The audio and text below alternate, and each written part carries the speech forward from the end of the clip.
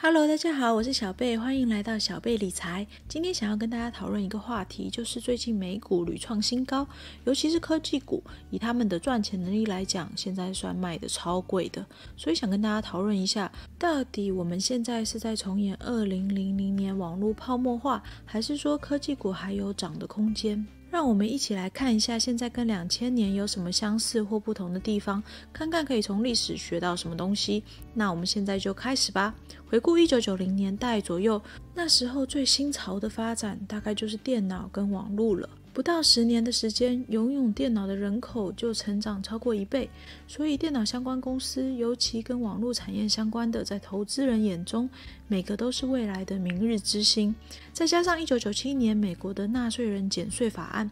让很多人手上都多了很多很多的资金，而且从一九九零年代中期时候，网络交易变得十分的普及，等于说有越来越多的人可以自由自在的在网络上做股票交易，比早期要打电话交易方便太多了，所以产生了很多炒股新手，大量的资金投入股市，尤其是科技股，基本上你的公司只要有个 .com 在后面，就不怕没有人投资。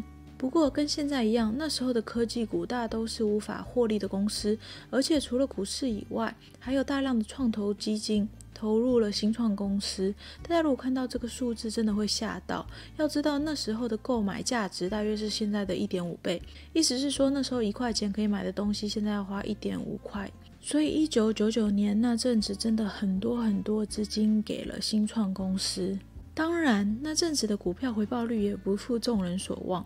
从一九九五年到两千年三月，纳斯达克指数涨了四百 percent，光是一九九九年就涨了八十五点六 percent，比今年还多，相当惊人。当然，后来大家都知道，接下来的三年跌了七十八 percent，基本上把那五年涨的全跌光了。当然，有很多大 com 公司也在那个时候关门大吉。好，那我们现在到底会不会重复历史呢？现在和当初有什么相同或不同的地方呢？我们先来讲几个相似的地方吧。首先，这几年因为无手续费交易功能的崛起，大量的人开始炒股、炒期权，很多是不读财报、不管基本面的，甚至不懂公司股价和公司价值的关系，导致一些公司股价到了不可理喻的价位。尤其是那些所谓的未来产业，像是电动车或是新能源等等。举例来说，Fuel Cell Energy 美股代号 FCEL，也是小贝我自己投资最失败的公司。大家可以看到，它在过去二三个月涨了二点五倍左右。当初我投资它也是因为看好干净能源，那时候我刚开始投资一两年，没有看财报的习惯，想说反正它已经跌得很惨。看 P/B ratio 很划算，又是未来产业，所以我就想慢慢买入。结果它一直配股融资，股价一直跌。后来我开始看财报之后，才发现原来它根本就是赔钱在卖的，毛利率是负的。也就是说，它做出一个东西的成本比它卖出去的价钱还高。我当下昏倒，只好停损出场。这大概是我买过唯一赔钱的公司股票。好，看到它最近大涨，我也再度了研究它一下。他们目前的毛利率还是负的，完全没有任何值得被炒高的理由。唯一的理由大概就是拜登当选，干净新能源被看好。但是投资者应该要选好公司投资啊。我是不知道他们未来有没有机会把成本降低，能不能开始有比较好的毛利率。但是以目前来讲，这个公司可以活下来的唯一原因，就是因为有人一直愿意去买他们的股票。这样子他们就可以一直配股融资，就连这样的公司都被炒高了。我觉得目前投机气味实在是太重，跟一九九九年可能不分上下。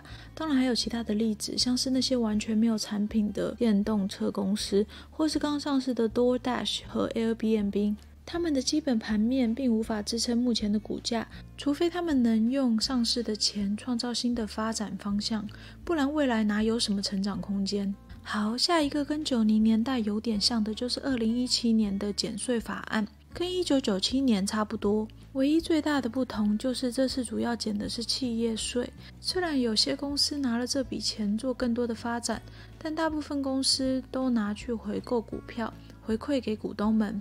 当然，这也反映在市场的股价上。这些都是跟一九九九年很像的地方。另外还有一个很有趣的相似点，当初雅虎被纳入 SP 五百，跟现在 Tesla 纳入 SP 五百超像。最大的差别大概就是 Jerry Yang 和 David Filo，雅虎的创办人，可能没有 Elon Musk 的魅力。总而言之，现在纳斯达克看起来好像跟一九九九年很像，那是不是代表他们有可能会大跌七十 percent 呢？目前我觉得有点难，为什么呢？我们来看一下现在和一九九九年不一样的地方。首先，最重要的大概就是利率不一样。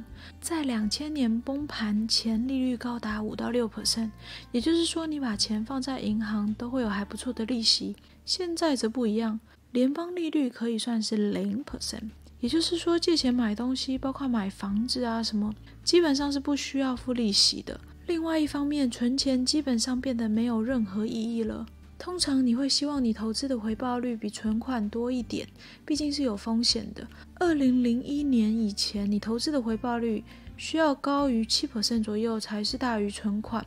所以回报率小于十到二十 percent，大家宁可不要参与。但是现在不一样，现在大概只需要两 percent 回报率就比存款多了。所以相较来讲，大家会比较愿意将钱放在股市里。今年联准会降息，就有大笔的钱投入股市。再加上各国现在拼命的做出各种量化宽松的政策，基本上就是一直在印钱，现金变成最糟糕的投资。虽然未来通膨可能会导致股市成长有限。但是现在投资股市怎么样都比留一堆现金被通膨吃掉的好，所以只要联准会一直量化宽松，各国一直印钞票，股市就很难大跌。当然，美金会不会再跌就很难讲，总不可能一直印货币，它的价值却完全不受影响吧。不过，如果全世界都在印货币的话，那就是另外一个故事了。话说回来，以投资的角度，虽然有很多公司股价在不合理夸张的高度，但是也有很多公司的股价是在合理的范围，等待我们细细的搜寻。而且，我觉得市场也是有在固定的回调，不是全体一直很变态的涨。所以，我觉得现在情况跟一九九九年还是有差别的。我想现在重点还是要选优质的公司，在合理的价钱买入他们的股票。这样真的有什么危机的时候，才会有信心再继续加仓。我想这可能就是我目前对股市的态度吧。虽然我觉得我可能要有美股波动剧烈的心理准备，因为正常来讲，美股整体应该是不可能直接飞上天的。毕竟今年美国国债赤字太多，要处理国债的方法大概就是加企业税和通膨。感觉拜登应该是会蛮想加企业税的，至于他能不能成功，还是要看国会是掌握在谁的手中。如果真的增加企业税，这绝对会影响企业整体的赚钱能力，而间接的影响股价。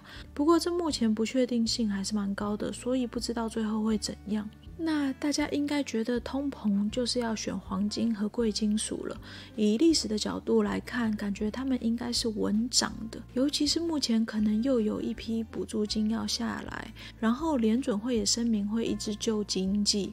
但是我现在越来越不确定他们可以像以前一样疯狂大涨。主要原因还是因为区块链数位货币的关系。以前的人想要买保值的东西，通常只有黄金跟货物，所以遇到危机或者是通货膨胀的时候，就会有大笔的资金投入黄金，黄金很自然的就会涨涨涨。但是现在很多年轻人和一些投资机构把比特币当成黄金在持有，所以本来要流入贵金属的所谓保值钱，很有可能有一大部分会流进数位货币，而影响黄金的涨势。我想，这可能也是为什么 Ray Dalio 在 Twitter 上批判了一下比特币，因为那可能是主要让他黄金涨不上的原因。他的投资可是一大堆都是黄金啊，呵呵。好啦，上面都是我个人的看法，跟大家分享一下，不构成理财建议哦。这一篇还有很多漏题的，欢迎大家在下面留言讨论。喜欢我的影片，欢迎订阅、分享和按赞，开启小铃铛。在这边先祝大家佳节快乐，我们下次再见喽。